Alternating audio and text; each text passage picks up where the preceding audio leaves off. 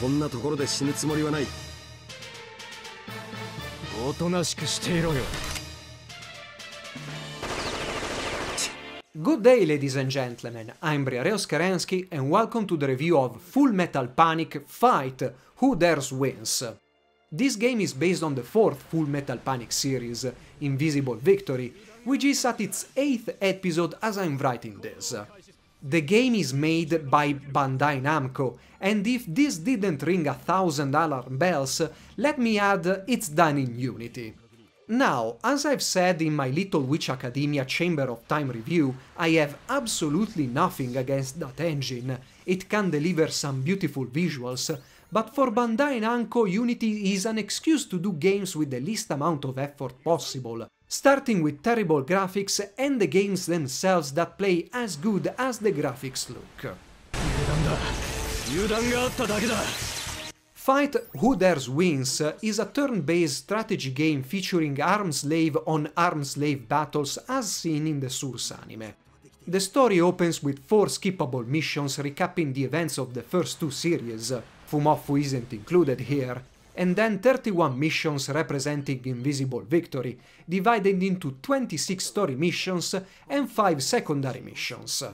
Secondary missions can be replayed at will to grind for money or experience. Complete all story missions and you can tackle the game again to uncover alternate scenarios.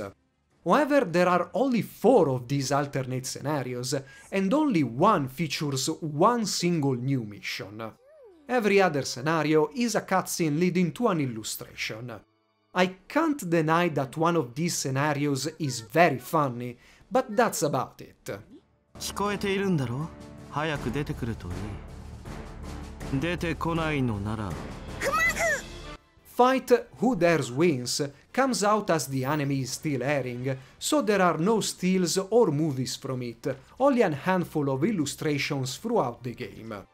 There are no difference between the two stories, at least up till the last episode currently aired, the 8th, if not for minor cosmetical changes like the uniform worn by the Namsac chief of police.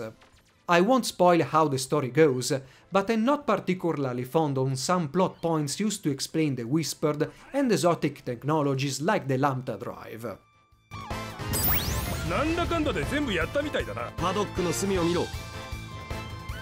In the game, the story is brought forward by the usual portraits talking to each other.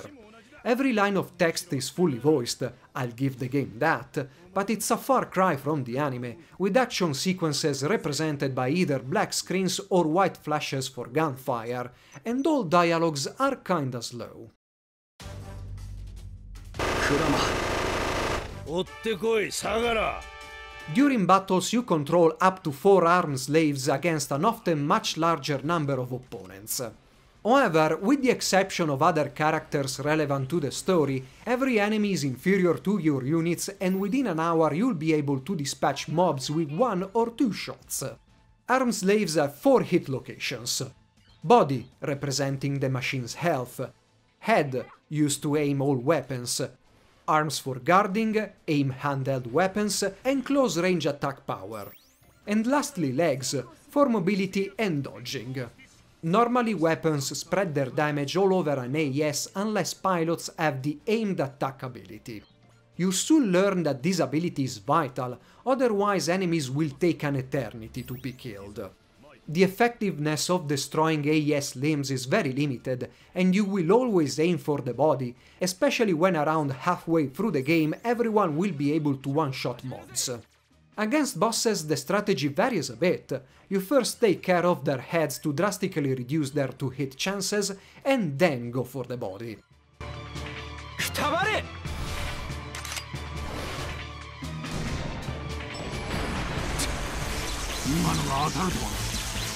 The game offers a large variety of weapons knives and swords, bazookas, anti tank daggers, pellet and armor piercing shotguns, flamethrowers, assault and sniper rifles, but you'll quickly gravitate towards non explosive weapons you can aim where you want and with the longest range possible.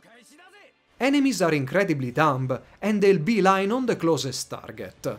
Once they reach firing range, they'll simply stop there and attack.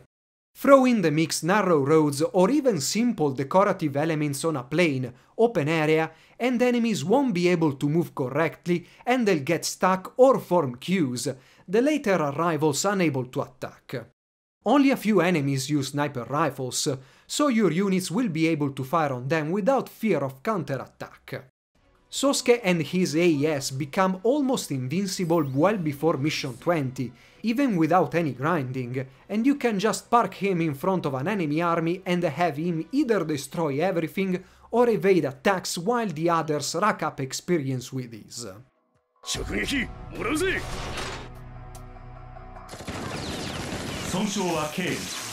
There is no variety in objectives. With the exception of a single mission you have to survive for a specified number of turns, every single task involves destroying any and all opposition on the map. Combat sequences can be skipped, but if you do so the game won't outright show parts hit and damage dealt, you have to remember the numbers. The super deformed arm slaves are cute, but they look all the same throughout the game, and destroyed parts don't change shape or even texture.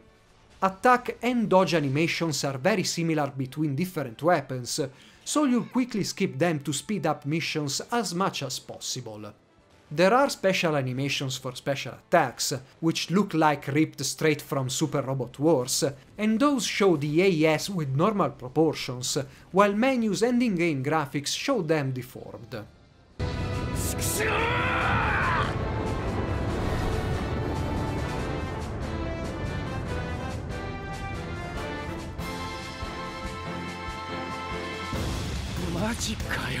There are only four playable pilots Sosuke, Mao, Kurtz, and Clouseau, all with a different skill tree.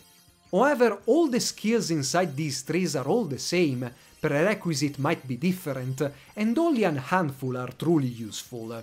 For example, the request support skill allows the Tuatha De Danann to provide off-map attacks or deliver supplies, but this isn't available in all stages. ASs carry many weapons, and off-map attacks aren't particularly powerful even when maxed out. Skills that improve dodge rate, increase morale for special attacks, or those that aren't directly linked to increased damage or to hit chances are only useful in very few instances. So skill points, which are shared between pilots, are better spent to increase stats. Arm slaves can carry a finite number of weapons, and heavier their loadout, less frequently they'll act. You can improve ASs in a number of ways, but again you'll gravitate towards firepower and health. Maybe dodging, but at the end of my second playthrough, with my pilots well above enemies level and maxed out stats, bosses would still be almost sure to hit even when evading and ASs had their agility stats maxed out. The combat system is simply boring, and the interface doesn't help either. The game doesn't differentiate between attack and counter-attack weapons, defaulting to the former, forcing you to select what you want every single time. Unless you specify an AS part as a target, units will always spread damage. There is no automatic weapon selection based on range, nor you can change weapons when looking at to hit chances. You have to back off, select a weapon, and then finally check its to hit ratios. Enemies will get stuck in whatever objects are lying around the map, and so you will in narrow roads that might look large enough for two ASs but aren't, due to every single unit having large impassable hitboxes. I appreciate that Bandai Namco tried to change things a bit and made Fight Who Dares Wins different from Super Robot Wars, but the resulting system is an absolute mess.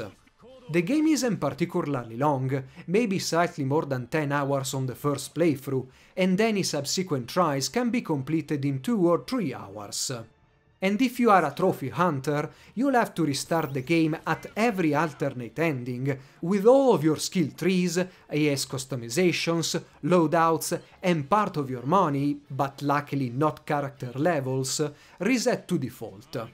This process is incredibly redundant as no enemy will be able to stop any of your characters from the second time you play the game, and I was happy in just completing the illustration gallery.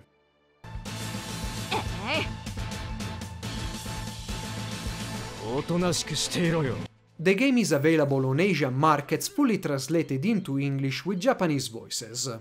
At the time of this review, there is no official word of a possible localization for Western markets. Not that you'll want to play Full Metal Panic Fight Who Dares Wins, it's an horrible game that further cements Bandai Namco as the kiss of death of anime tie-ins. I hope you have enjoyed this review and you stick around for more. Briareos Kerensky, over and out.